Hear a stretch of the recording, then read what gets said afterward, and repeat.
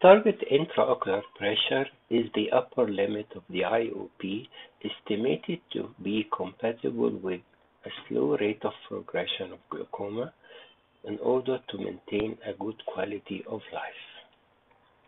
There is no single target IOP level that is appropriate for all eyes.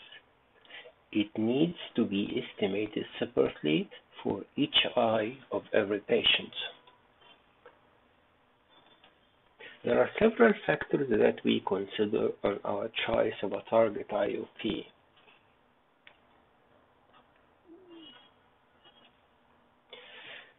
The level of IOP before starting treatment.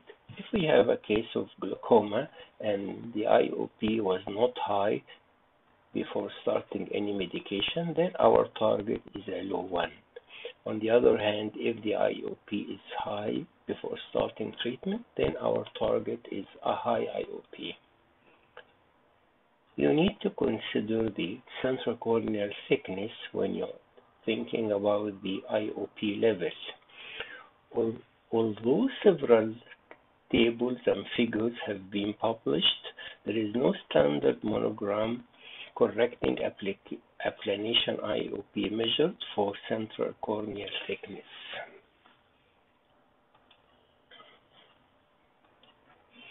Life expectancy. If you diagnose glaucoma in a young age, then the life expectancy is long, then we go for a low IOP. On the other hand, if the life expectancy is short, we can go for a high IOP. But uh, keep in mind, old age is a risk factor for glaucoma progression. Then the amount of damage when you first see the patient.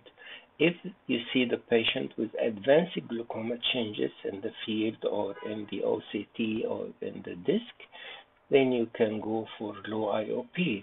On the other hand, if the amount of damage is minimal, then you can go for a high target IOP. To evaluate the amount of damage, we can depend on the field of vision and on disc evaluation. There are several methods that we can check the field with. The first one was published back in 1993.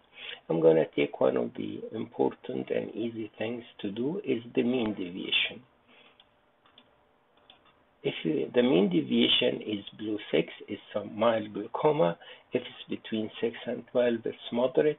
And if it's more than 12, it's a severe glaucoma. This part is more complicated. We can skip it. Then the second point is to check the central area. If we have in one of the two hemispheres a sensitivity less than 15 decibel, either up or down, this is a moderate glaucoma. If less than 15 up and down both, then this is a severe glaucoma. If one of the values in the central 10 degrees is zero, this is a severe glaucoma. For disc changes, we can depend on the disc damage likelihood scale, and if we have areas of zero, either small part or very extensive, this is a severe glaucoma. The second system is the Canadian guidelines. They defined early glaucoma that cases with early field changes with changes in the mean deviation less than 6 with a cup disc ratio less than 0.65. Moderate glaucoma where we have a significant field changes in the upper or the and the lower hemisphere, but not affecting the central 10 degrees, with a mean deviation between minus 6 to minus 12 and a cup disc ratio 0.7 up to 0.85.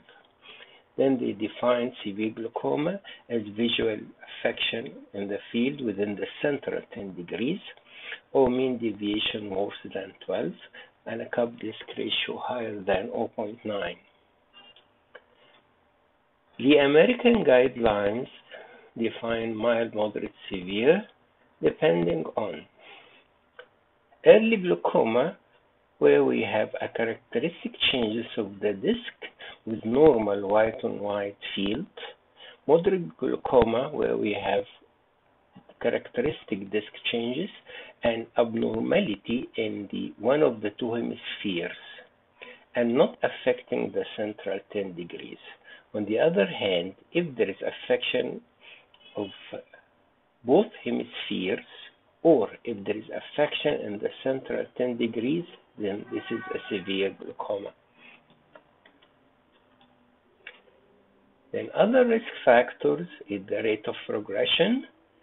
We can get this information after following the patient for a year or two, or if we check previous investigations of the patient and we are treating him now, then we can know how fast the case is progressing. Then other risk factors should be considered like thin central corneal thickness, like old age, like elevated IOP, or like pseudoexfoliation. Several glaucoma clinical trials showed these factors. For example, the ocular hypertension treatment study showed the importance of risk, the, the risk of having old age, and the risk of having a thin central corneal thickness. The early manifest glaucoma treatment showed the importance that if we have high OP, the risk is higher. If there is pseudoexfoliation, the risk is higher for glaucoma progression, and also old age is a risk factor. The advanced glaucoma intervention study showed that if the initial pressure before starting any treatment, if it was low, then over the years the chance of progression is less, while if the initial pressure is high, then over the years the chance of progression is more. In the normal tension treatment study, migraine is a risk factor and presence of disc hemorrhage is a risk factor. Other risk factors include low systolic and diastolic blood pressure that will result in low ocular perfusion pressure. It was found that low diastolic perfusion pressure, less than 40 milligrams mercury, is associated with higher prevalence of primary open-angle glaucoma. Also, it was found that nocturnal mean arterial pressure, 10 millimeters mercury lower than daytime mean arterial pressure may predict progression of normal tension glaucoma and increased risk of visual field loss. Other risk factors, vasospasm, type 2 diabetes. It is believed that microvascular changes in the optic nerve head may contribute to the greater susceptibility of the optic nerve damage. A meta-analysis of 47 studies concluded that diabetes mellitus is associated with increased risk of glaucoma and may be associated with elevated IOP. Other risk factors, myopia. Large cross-sectional epidemic studies suggest that persons with myopia have a higher prevalence of open-angle glaucoma than those without myopia. It is believed that axial myopia, eyes with axial myopia, have a weaker scleral support at the optic nerve with greater susceptibility to glaucoma damage. Other risk factors include positive family history. Now, how low should we go? The Canadian guidelines give us this range depending on the type, on the stage of glaucoma, while the American guidelines give us these figures. All these are seen here in this slide. If we have mild glaucoma, then according to European Glaucoma Society, we should go for a level less than 21 or 20% reduction the Canadian guidelines, we want a level below 20 or 20% reduction, while the American guideline will go for 18 millimeter mercury or 25. Why we are having two different targets? If the initial IOP is high, say 40, then if you choose to go to below 21, this is more reduction of pressure compared if you choose to go to the 20. So we choose the one that will give us more reduction. On the other hand, suppose we have a patient with 22, then you choose to go for 20% reduction. In case of moderate glaucoma, the limits are 18, 17, 16, or 30% reduction. In case of severe glaucoma, the limit here is 40%. Here it is 30% or 14 millimeters mercury, and here it is 12 millimeters mercury of 35% reduction. So we have either a percentage or a level, and you choose whatever low.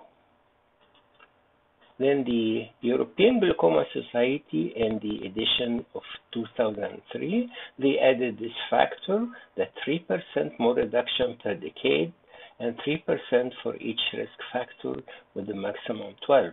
But this is not included in the last edition of the guidelines. If we come to glaucoma suspect, the Canadians will go for a pressure below 24 and the American, the target pressure is below 22. In case of normal tension glaucoma, the Americans will go for a 30 to 35% reduction.